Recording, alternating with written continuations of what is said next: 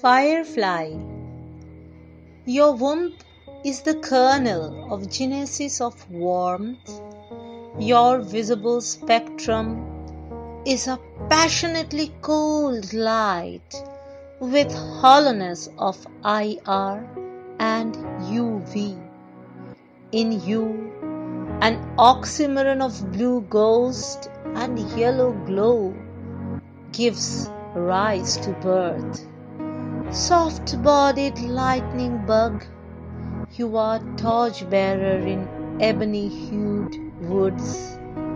Firefly, you dart the brightest aura of life in darkest of lifelessness. Thank you.